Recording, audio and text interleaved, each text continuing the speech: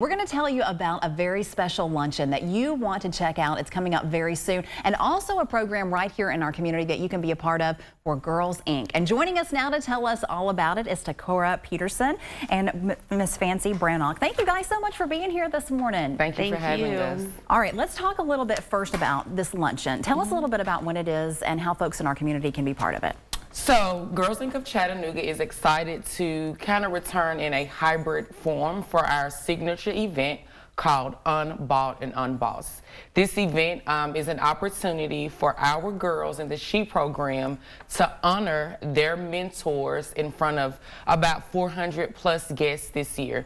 So uh, we typically, before COVID, had over 750, but we want to always be mindful um, and put in those safety measures. So there'll be a few changes to the event. The last two years it has been virtual, and so this year we're going to offer a hybrid opportunity in late April of 2022. Sounds like a great event. Yes. Now, a lot of this comes from the SHE program, so let's talk a little bit about this and how our community can get involved. Sure. So we just opened up nominations for mentors for the SHE program um, earlier this week. So you can go to our website if you are interested in nominating um, a female in the community that would like to be a mentor for these girls.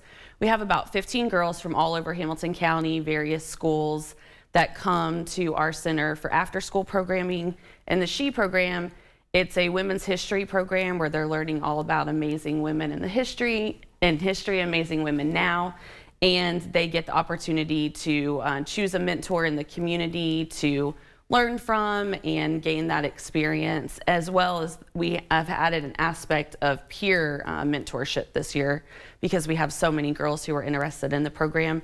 So we have those ninth and 10th grade girls that will be um, paired up with an 11th and 12th grader in a peer mentorship.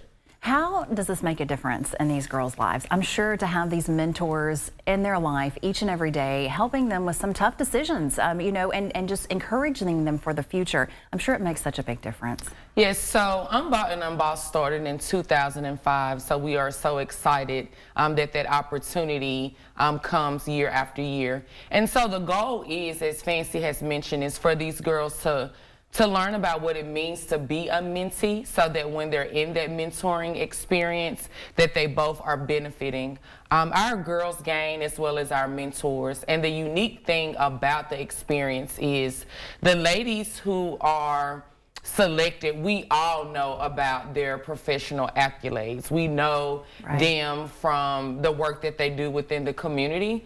But what our girls have an opportunity to see is kind of behind the scenes, how they manage it all, being mothers, grandmothers, wives, sisters. It's hard. You know, yeah. very involved yeah. in their church and their community. And so our girls get to present in front of, you know, 750 plus uh, ticketed guests why their person is unbought and unbossed. And that term comes from the late Shirley Chisholm, who made a run for president. She was the first woman to uh, go out for the Democratic nomination for president.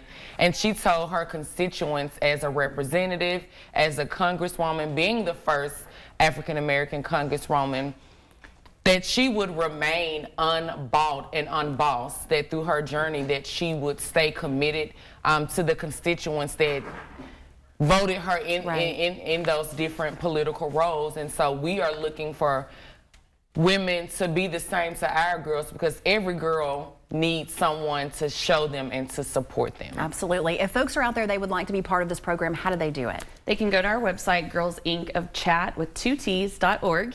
Um, and anyone that they feel like would, you know, love to invest in these girls, we would love for them to put in a nomination. Absolutely. That. Ladies, thanks so much for being here this morning and what you're doing for our community each and every day. Always Thank good you. to see you. Thank you. if you, you want some more information, go check out their website. We have much more ahead on News 12 now this morning. Don't go anywhere. Chip's got your sports and forecast right after this.